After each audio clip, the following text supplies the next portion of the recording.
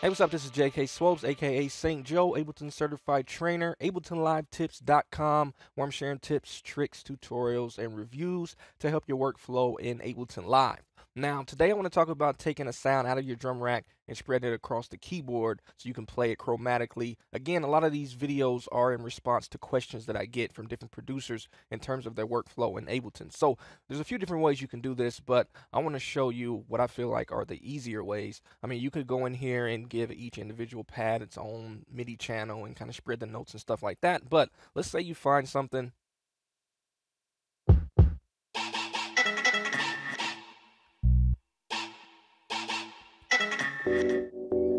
So let's say you find that sound and you kind of want to play it. One thing you can do, you can go in, expand it, find it, right click on it, and then extract the chain if you want to do that. But for me, I think it's just easier. We can just go like this and drag it over. Now, if you just do that, you can see it's just it's just that sound. It does it's not spread across the keys. But what we could do is go in here and open up the rack.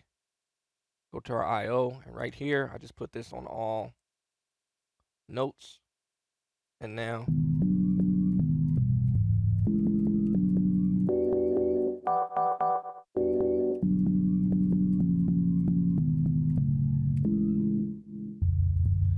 And of course, if you had any effects or anything on there, it would drag it out if you do it this way.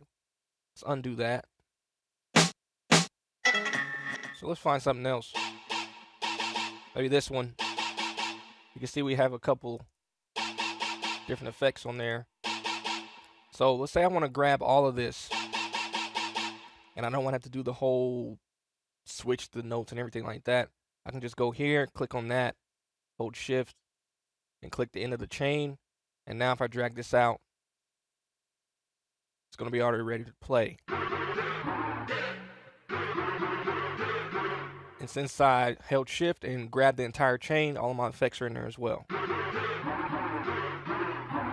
All right, so really straightforward. Just a couple of ways you can take your sound out of the drum rack and play it chromatically. I get this question a lot in response to the function on push 2 where you can convert to a MIDI track from an individual pad inside of the drum rack. So I wanted to show you how you can do this inside of Ableton Live really quickly. You can drag it with or without the effects. It's pretty much up to you. Of course, if you got any questions, let me know. Like, comment, subscribe to the channel if you dig it. Also, share this video. Make sure you come through AbletonLiveTips.com. And again, if you got any questions or things that you're trying to figure out, feel free to ask me. I'll see y'all later.